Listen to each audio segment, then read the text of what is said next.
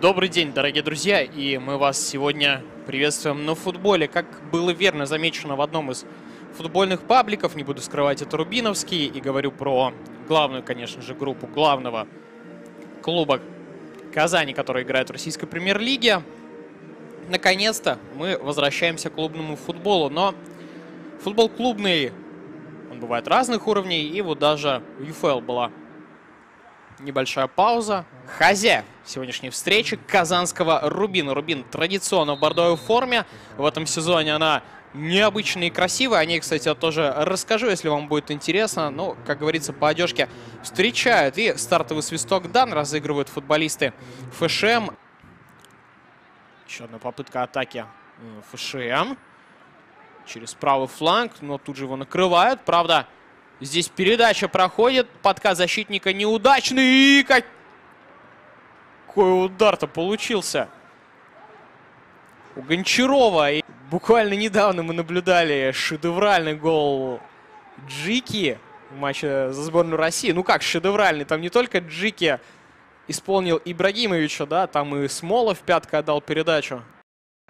С Наполи, там Понса нападающий Спартака нарушил правила, при том, что не только, ух, еще один удар, это уже третий в створ.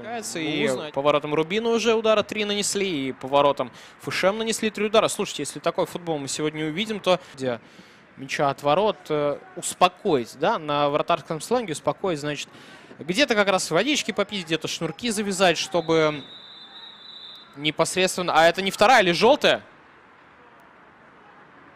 Это вторая желтая и красная карточка. Вот такое вот начало у нас игры. Ведь полтайма всего прошло. И что интересно, ведь Моросинский, он не только третий раз фалит на капитане. Часто играя 3 на 5, забивал не по одному. Даже, хотел сказать, мячу по шайбе. Конечно, а вот тут очень опасный момент у ворот Рубина, но как же хорош Долженко. Выбегал буквально на рандеву с ним. Акуев Адам и пробил-то точно в притирочку со штангой. Мяч забирает.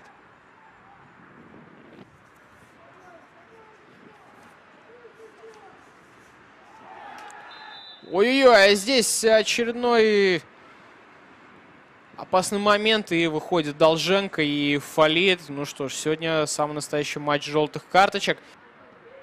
Продолжается атака футбольной школы молодежи. Еще один заброс. Успеет ли слева? Не получается. Но что такое? Это пенальти и везение Рубина заканчивается. Давайте смотрим повтор. Ой-ой-ой. Но Удивительно, во-первых, как арбитр прощает такие нарушения, а во-вторых, удивительно, как до этого Рубин не пропустил момент. Долженко вроде бы вытащил, тем не менее. Пропускает, и ФШМ выходит вперед. Давайте посмотрим повтор. Угадывает Долженко, и казалось, мяч этот забирает, потому что как-то не уверенно... Не то, что не уверенно, да, а не так сильно дальний угол второго номера своей команды. Опять же, посмотрим.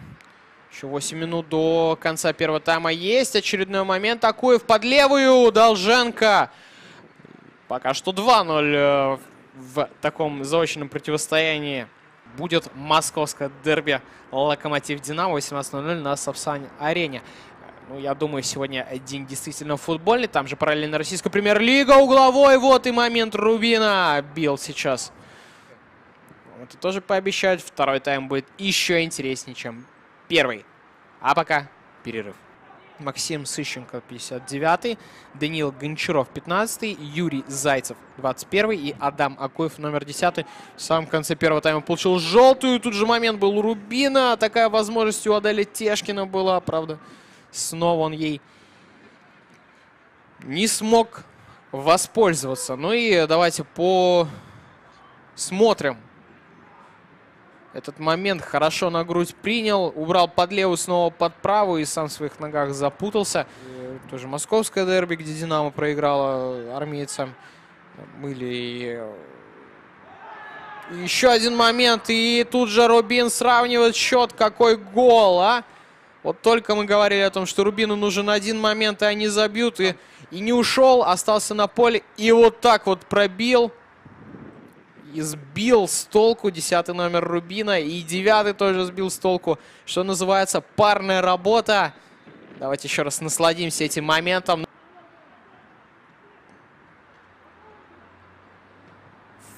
Не то, что в тренерских качествах. Ой-ой-ой, а это же карточка.